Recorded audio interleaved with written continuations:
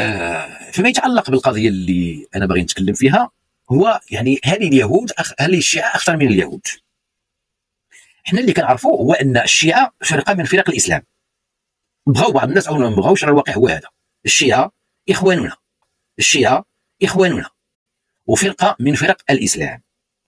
كمئات الفرق والحركات اللي دارت في تاريخ الإسلام واللي موجودة في كتب علم الكلام وفي كتب التاريخ. عند التحدث عن الشيعة والرافضة إنهم إخواننا. هل يجوز أن نقول ذلك وما الواجب في ذلك إن لم يصل نبرأ إلى الله منهم ونبرأ إلى الله من هذا القول.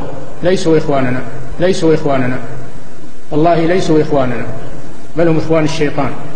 آه الشيعة هؤلاء يجمعنا معهم الكثير ويجمعنا معهم يعني الأصول العقدية ويجمعنا معهم يعني الأصول العقدية.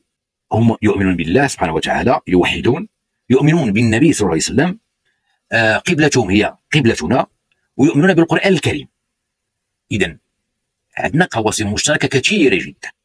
الأمور الفرعية هذه يعني راح أهل السنة يعني يختلفون فيها. الأمور الفرعية هذه يعني راح أهل السنة يعني يختلفون فيها. بالنسبة للشيعة مذاهب كثيرة جدا منها من يصل إلى درجة التكفير المطلق وليس تكفير المعين وهنا لا بد من التفريق بين الأمرين. فالتكفير المطلق أن يقال من قال كذا فهو كافر. نعم. من رمى عائشة بما برأها الله منه فهو كافر. من قال إن آه، الصحابة ارتدوا إلا ستة فهو كافر. من قال إن القرآن ليس متواترا غير زيد وانتقص. نعم. زيد فيه ونقص منه فهو كافر. ويجمعنا معهم يعني الأصول العقدية. يقول العلامة الشيخ محمد بن صالح العثيمين. الشيعة خلافهم متباين مع أهل السنة والجماعة. ليس خلاف الشيعة مع أهل السنة كخلاف الشافعي مع المالكي مثلا لا بل اختلاف عظيم. اختلاف في أصل العقيدة. اختلاف عظيم اختلاف في أصل العقيدة. فمثلا من أصول عقيدة الشيعة أن عندهم رؤوسا يسمونهم الأئمة.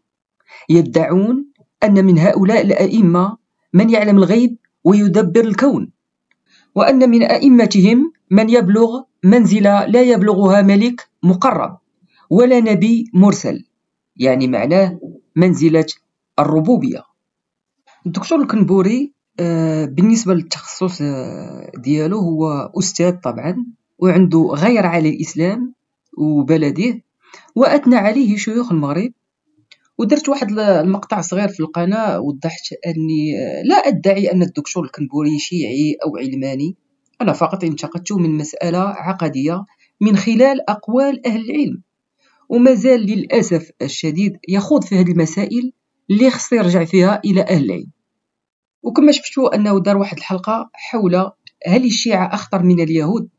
نعلم أن الشيعة أولا مذاهب كثيرة كما قال الشيخ ددوش القيطي لكن فيهم يعني تارى بعضهم آه، بعض طوائف الشيعة تكونوا أخطر من اليهود حسب الفترات أما هذه الفترة طبعا فالكيان الوهمي أخطر من الشيعة. وأقصد في هذه آه، الحرب الدائرة في أرض العزة. ولذلك يجب نصرة إخواننا في أرض العزة ونتجنب بأن نقول دخول إيران عبارة عن مسرحية أو غير مسرحية. هذا لا يخدم أهل السنة في المنطقة ولا يخدم آه، أهلنا في أرض العزة بالتحديد. ولكن الواجب الواجب أن أن الفاعلين من الشيوخ الكبار التحرك والتكلم مع رؤساء بلادهم عندهم جمعيات كبيرة آه، طبعا لغرض إيقاف إطلاق النار والدخول في هدنة تخدم مصلحة إخواننا آه، في أرض العزة. حاليا أوروبا وأمريكا لا تريد الدخول في حرب إقليمية وتنتقد آه، الكيان الوهمي كما فعل ماكرون وبايدن. وهنا بالضبط يجب أن يدخل السياسيين العرب في المفاوضات مع الغرب للوصول إلى وقف إطلاق النار والدخول في هدنة. أما عن من يلمع صورة الشيعة وينسى ما حصل سابقا آه، لما انتصر حزب الله على الكيان آه، انتشر التشيع في المنطقة العربية بسرعة فائقة والسبب هو تلميع صورتهم في الوسائل الإعلامية. لذلك الشيوخ أمثال الشيخ النهاري والشيخ الفيزازي والشيخ الخالدي والشيخ رشيد نافع والشيخ علي البخاري والشيخ كمال فهمي وغيرهم من الشيوخ يتصدون إلى هذه الظاهرة وتوضيح عقيدة أهل السنة والجماعة.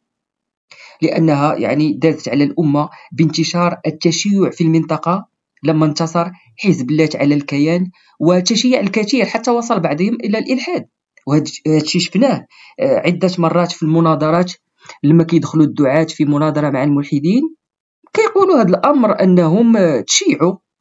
وطبعا السبب آه، الإعلام الذي لا يسمع إلى أهل العلم. درت فيديو آه، في القناة يذكر فيه الشيخ فريد الأنصاري آه، كيف انتشر التشيع في المغرب.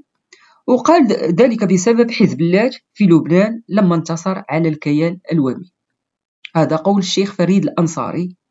واللي ما تيخش راه درت فيديو تجدونه في القناة. تحياتي لكم والسلام عليكم ورحمة الله وبركاته.